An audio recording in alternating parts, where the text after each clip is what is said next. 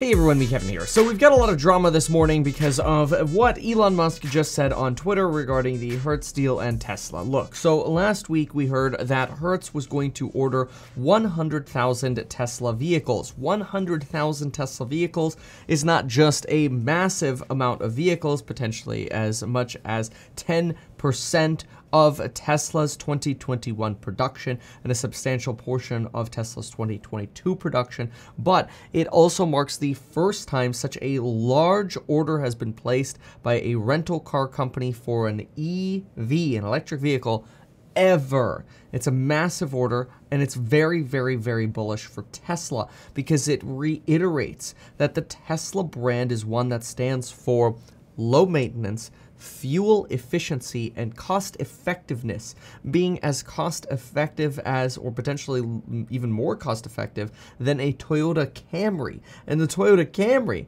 is often seen as the gold standard of cost efficacy in cars. So this is really, really bullish for Tesla.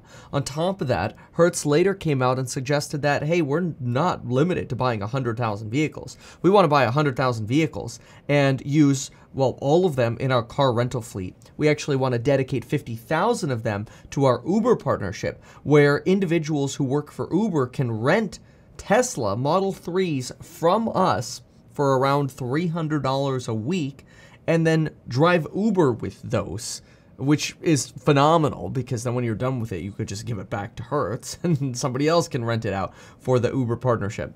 Uh, but beyond this, the uh, Hertz CEO came out and suggested that they're not limited to 100,000. If this goes well, they might order another 100,000 on top of that. And so this has been extremely bullish for Tesla, not just because of uh, what, what it says, the, the massive testament that it is for the vehicles, but the fact that it's also a big order. It's a lot of, of dollars. Now, we know that uh, Hertz, based on the valuation of how much they're spending on this uh, 100,000 vehicle order, is not getting a discount. This this is good because it, usually rental car companies require that uh, automo- uh, automotive manufacturers provide uh, discounts for bulk orders. And some people think that well, if I'm going to order in bulk, I should be able to get a discount. That may be true if you have a product that doesn't easily sell in bulk, but if you have a product that's high quality and at a perfect value to where there's plenty of demand for it otherwise, supply and demand dictates and says you do not need to lower the price. And that's exactly what's happening here with Tesla. Tesla is not lowering the price for Hertz's partnership or Hertz's deal in ordering 100,000 vehicles and potentially another 100,000 vehicles or more vehicles thereafter. However, the stock market, oh, however, uh, right now, we've got a little bit of drama over this because of what Elon Musk just said on Twitter. Take a look, folks. So somebody tweeted yesterday, Super Tesla stonks. Thank you, Elon Musk. Uh, and they post a picture here of uh, Tesla at record highs, over $1,200, $1,213. And Elon Musk says the following You're welcome. If any of this is based on Hertz, I'd like to emphasize that no contract has been signed yet. Tesla has far more demand than production, therefore, we will only sell cars to Hertz for the same margin as to consumers. Hertz deal has zero effect on our economics. Okay, now there are a few things to unpackage here. First, uh, the bears are going to look at this and go, oh my gosh, did did people lie about this Hertz deal? Is this all fugazi? Uh, is this is this all made up so executives can sell shares at high prices? And uh, the SEC needs to investigate Tesla because uh, Tesla's a fraud. That that's what you're going to hear from the bears. Now, uh, a, a, logician. Uh, not not to be confused with magician, but somebody who uses logic, uh, is first going to break down a few things here. First, no contract has been signed yet. Look, even though it's easy to say uh, that Hertz can just go to Tesla.com and buy the cars uh, themselves and pay the same price as everybody else, I get it. Realistically, somebody's not going to sit there at Hertz and check out on 100,000 different vehicles. If anything, that would also just bog down Tesla's ordering system. So I would expect that there would be some form of contract. There will also be some form of cost savings for Tesla.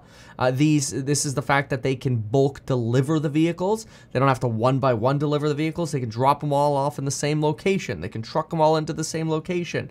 Uh, there are cost savings uh, with a financing. They can be bulk financed. There are a lot of different cost saving measures uh, that can be used when you do a bulk order. So there is going to likely be some form of modest uh, price adjustment However, as Elon Musk makes clear here, Hertz will only receive the vehicles at the same margin. In other words, the same bottom line to Tesla. So it's kind of like, hey, look, you know, look, we don't have to deal with all the, the uh, you know, coaching you through this process, the financing, the the deliveries easier, all these things. It's going to save us $500 in cost per car uh, you know what, we can pass that along to you. That's not providing a discount above and beyond any kind of uh, savings that are being created out of the scale of the transaction, right? So Elon Musk here is not giving Hertz the middle finger, saying we're just not going to work with you at all. Go use the website.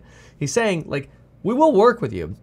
We haven't signed a deal yet. We're working on it, but let's be clear, and, and this is the more important message. Elon Musk here is saying we don't need Hertz we don't need to provide vehicles to Hertz to have demand. We have plenty of demand. We are not reliant on Hertz. And so Elon Musk, in my opinion, this, this is actually quite bullish. He's really coming across here as, is in, in some sense, slightly cavalier. Like, hey, you know, this whole Hertz deal is cool and all. I certainly hope the stock isn't running because of the Hertz deal because should be running because of me. You know, in other words, like, we're doing great. We're, we've got plenty of demand. Now, uh, and, and, and, we don't really need more demand. What we need is more production. Elon Musk has always lamented how much how, uh, the production constraints uh, that Tesla has uh, and how long it takes to actually scale production. Now, uh, this, uh, by at least according to Gary Black, and this is Gary Black's opinion, he's great. I spoke with him yesterday on the channel. I'll be posting the full interview uh, on on my channel today. You could still see it yesterday though.